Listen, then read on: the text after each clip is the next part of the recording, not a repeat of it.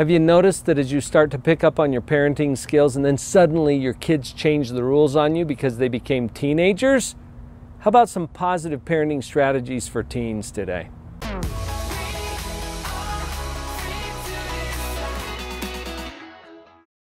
Vicki and I have had the opportunity to raise four teenagers. And we've participated on the parenting team of many, many other teenagers because mm-hmm. of working in the schools, in your case, and, and my private practice.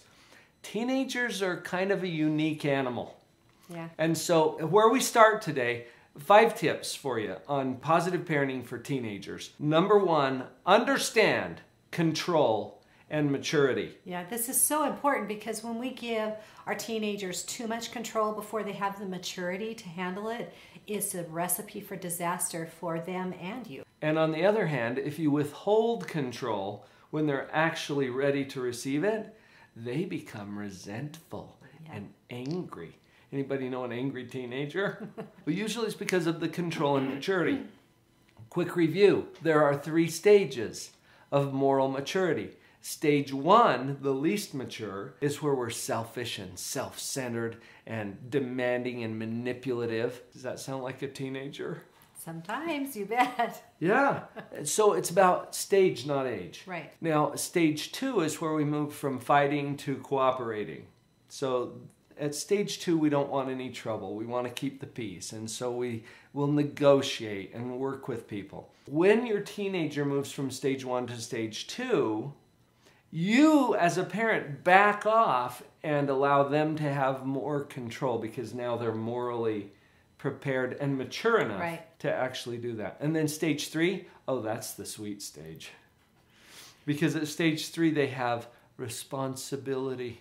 And they take initiative to take care of things. They oh. see what needs to be done and they do it. Service, empathy, all those kinds of things kick in at stage three. So, as a parent, we need to be extra sensitive when we're working with teenagers as to what stage they're on. And there's a, a, caveat too be aware that they may change stages during the same conversation. They might be on stage two and then they start fighting with you and being mm. uncooperative and they've gone back to stage one. Then something you say might click it or something might flip back into stage two. So just be aware of those stages. It makes a huge difference. I think this is probably more true for teenagers than it is for younger kids. Yeah, I think they flip back and forth more often. Right. Mm-hmm. In other words, like your preschooler, for example, pretty much on stage one mm-hmm. most of the time. And stage two, because you're working with them on cooperation, but right. you don't get a lot of stage three. With teens, you'll you'll look at this kid and think, oh, they are so amazing. Oh, way to go. And they're doing this stage three stuff.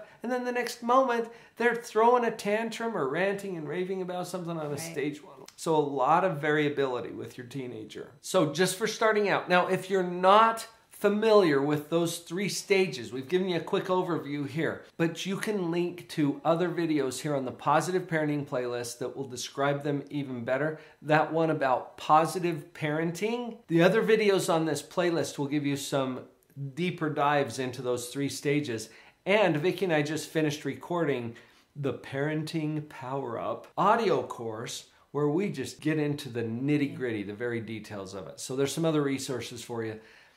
Tip number one understand control and maturity. Now let's move right into tip number two, which has to do with your perspective. Keep a positive perspective here. There's a lot of adventures waiting for you as you parent teens. Do you like that characterization? Yeah, adventure is probably a very good word. What else might we call it? It could be a gut wrencher.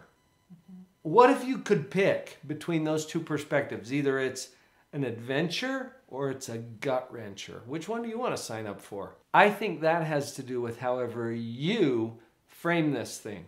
So keep in mind that what you're experiencing here is an adventure, and that helps you to show up better in your parenting. It will also have an impact on your teenager. You know, during this time of adventure, your child is developing at an mm. amazing rate. Yeah. In a lot of different ways. And I hear parents say when they're approached by other people who have interaction with your child saying, and they describe a behavior that mm-hmm. your child did, and you say, mm-hmm. oh, that's not my kid.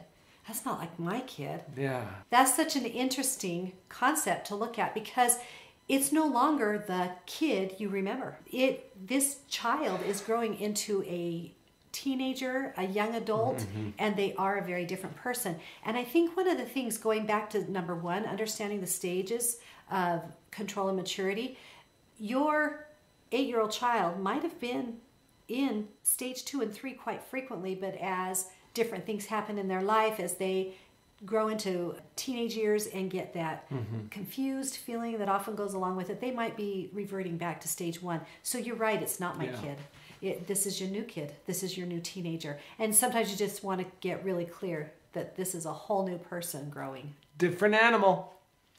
Kids, teenagers, not the same thing. Right. And you're right, Vicki, it can be very misleading, especially if your child has been fairly mature and then your teenager is not so much. Mm-hmm. That can be very frustrating to you as a parent.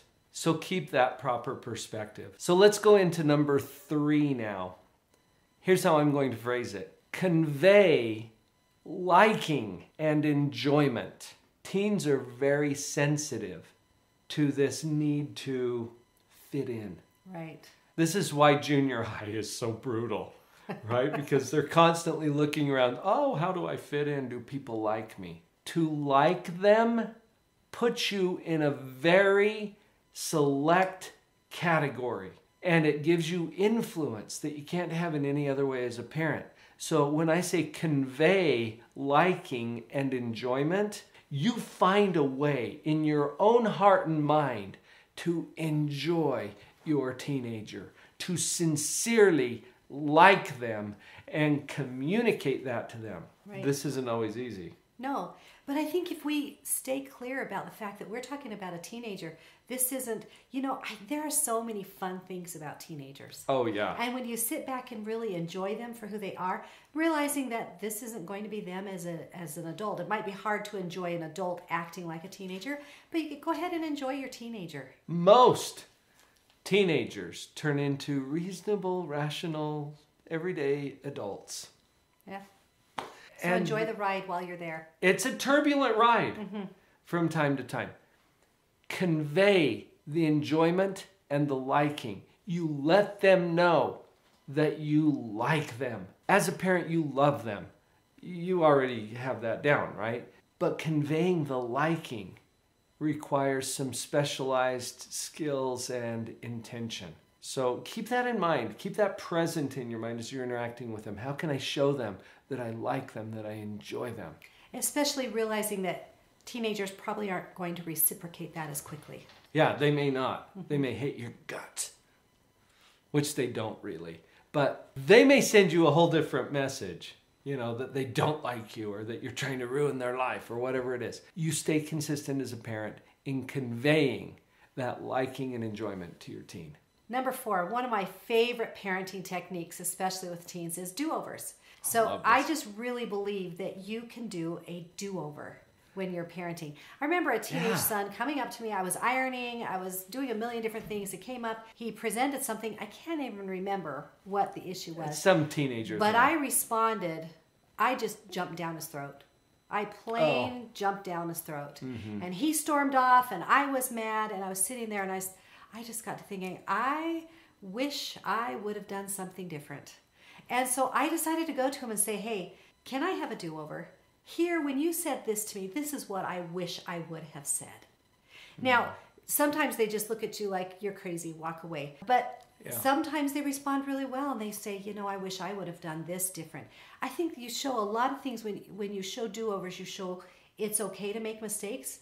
You can Right. fix your mistakes, own up to your mistakes and step forward, and then not that it's okay um, and that adults make mistakes. I think it's okay Right. to show that adults make mistakes. Absolutely. Yeah. This helps to train them for a real world principle that as they grow up, it's not like they hit some point and suddenly they have everything all together. Well, and teens are so afraid of failure. I mean, they are Right. so afraid of looking dumb or anything. That is just so present in their mind. And so to show Mm-hmm. that you can make a mistake, you can ask for a do over, and you can change is really powerful. You know, Vicki, I got to observe this very example from a little bit of a distance because I wasn't right there in the hall where this happened, but I remember it as well. And as our son came up, and he was uh, he was kind of worked up about some things, and you responded kind of quickly, like a parent sometimes does. He stormed down to his room, and then I heard, after a brief pause, I heard Vicki put down the iron and what she was doing in there and go downstairs, and oh, that didn't go the way that I wanted to. Can I have a do over? And he was a little steamed at the time, but that melted him. It just, I, I felt a change in his energy where he was willing to allow you to have that do over. Powerful parenting tip, especially for teenagers. You're going to make some mistakes. Count on it. And doing the do over act lets you practice it the way you wish you could have so that the next time, hopefully, oh, yeah. you are better at doing it. Because remember, this is your first time parenting this particular child as a teenager. And if I've learned one thing, it is that every teenager is different. So it's your first yeah. time parenting this teenager. Beautiful. Okay, let me introduce number five now. Honor their experience and intelligence. Remember, we're working with a teenager kind of like a, a baby adult in a lot of ways. They're just at the early stages of taking control of their life. Really, I, I found this in child development that they go through similar stages at like mm-hmm. 13, 14 as they did at two, where they're trying to figure out, I do it myself, right?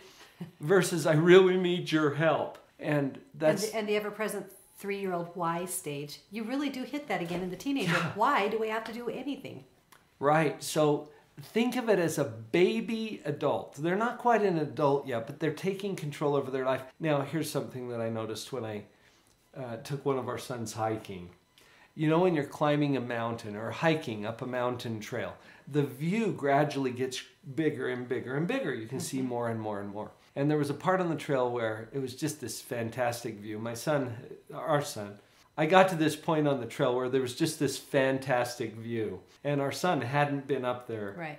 before. And it was the best view he had ever had. Connect with that for a minute as a parent. Your child's view of the world, their understanding of what's going on in the world around them, is better now than it ever has been. And I can say that with confidence because, well, they've never been this old before. right?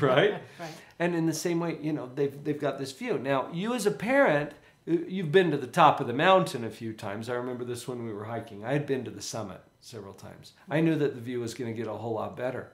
But our son, at the point, didn't. He hadn't seen anything better than this. Your teenager has wisdom and knowledge and experience that is absolutely appropriate for their stage of development, and it's better than it's ever been. For you to honor that puts you in a hero position with your teenager as you acknowledge to them, wow, you really understand some things now that you'd never even thought about before. And meanwhile, they're like, yeah, I kind of do, huh?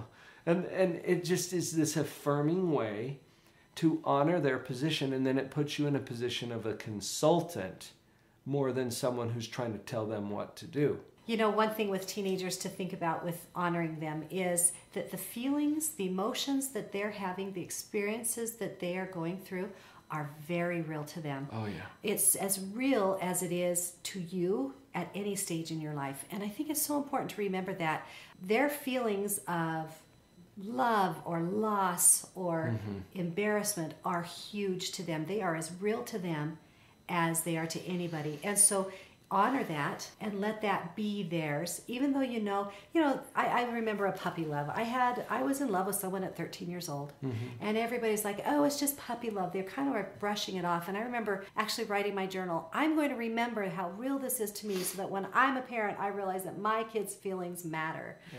their feelings are real. Honor them. Honor their experience in life the principles that we cover in these parenting videos are summarized and we go into even more depth at the Parenting Power Up audio course. Connect to it right over here.